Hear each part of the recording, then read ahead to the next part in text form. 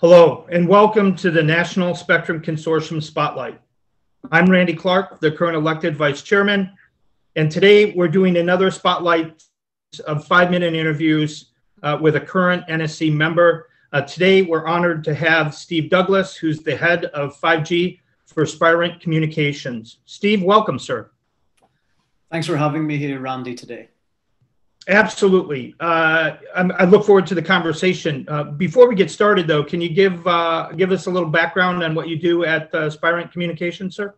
Yeah, absolutely. So, Spirent, um, we're a global provider of testing, security, and service assurance solutions for the ICT industry, and we're used uh, right across the end-to-end uh, communications ecosystem. The chip makers, the network equipment providers, service providers, uh, government enterprises use us to help test, validate, and, and then commercially launch their systems and services. Uh, I head up our 5G strategy within Spirent, and, and that's helping develop our market plans, investments, uh, but also working as a advisor to industry bodies and government. Uh, that's wonderful. Can you tell us a little bit more about the test and assurance solutions uh, uh, and how they play a role in the simulation and acceleration of 5G innovation for the military and for industry and academia? Uh, absolutely. I, Randy, a big challenge for many of our customers um, is that 5G still in its infancy. Um, and you know, if you're the military or you know you're, you're in the government and, and you're you're wanting to cost effectively and rapidly experiment or develop a novel new application, getting access to these environments, to real environments, is pretty complex and difficult today. And you're also limited by the flexibility, you know, to run the what ifs or maybe you know potential uh, destructive testing you may need to do. So a big part of our, our business is really providing four key areas, uh, our solutions. The first of those is uh, 5G network emulation technology, which emulates the key 5G network functions. Um, and that's really to, reduce the need for you to have access to a, a real network or, or to, to, to, reduce the need for actually accessing even spectrum. The second area is around uh, large scale traffic generation. And this is to make testing systems in these environments ultra realistic and future proof by providing the large capacity that you're going to see in the future, the congestion that you'll have in the networks. The third area then is really around automation technologies, and this is really to allow seamless access uh, to these environments and test beds so that you can have a multitude of workers that can be remote accessing and innovating simultaneously. Um, and then the final area is around active test and assurance um, systems, really to allow you to continuously uh, monitor and test the performance and security efficacy of the actual live operational system and network. Now, these capabilities in their own right are massively beneficial uh, to enable people's 5G journeys, but what's really interesting, if you bring them together and combine them, you can create something completely innovative, which is a we call a 5G network digital twin, which is an immersive sandbox to allow you to continuously prototype and to allow you to continuously test. Uh, such uh, critical steps in uh, the acceleration of good ideas and standards to actually uh, creating reference architectures and production networks. Um, I'm very interested to hear more about the novel solutions that Spirent has created, especially around digital twin and continuing test environments. So, could you elaborate? Yeah, so Randy, let me, let me give you three quick examples here. So, our 5G network digital twin today is being used by a national security agency, and um, this is a, a replica of the, the new 5G core network and the 5G radio access network, and it's being used here to help them research the risks associated with the new 5G network, but just as importantly, to start to identify the mitigation opportunities.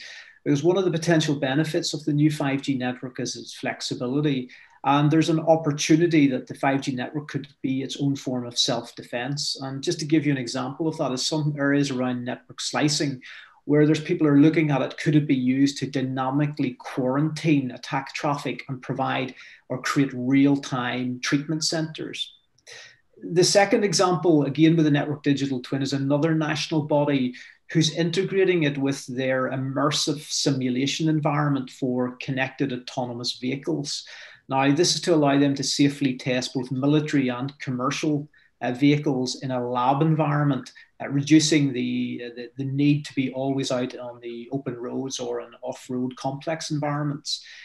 Um, and then the third area, just on the continuous testing environments that you mentioned, well, we're working with a major North American service provider today, very much around their digital supply chains for the new 5G core network. So again, working with their network equipment providers, we've created a continuous test in an automated environment, which allows the volume and velocity of new software coming from these vendors to rapidly go through a, a, performance and security efficacy testing cycle so it can be actually put into the commercial networks as fast and rapidly as possible.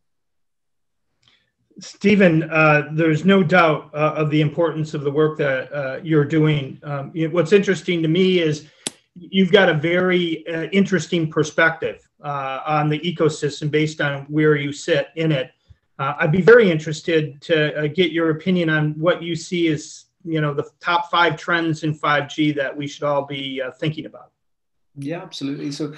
Um, I think the first of those is really around cloud architectures. Um, we're expecting to see greater use of cloud technology and top topologies uh, to provide flexible new capabilities, especially at the network edge or, or the tactical edge. And this is very much around low latency and mission critical type systems. And we also expect to see the cloud architectures play a, a pivotal role in defining the architecture of what we expect to see with 6G technology in, in, across the next decade.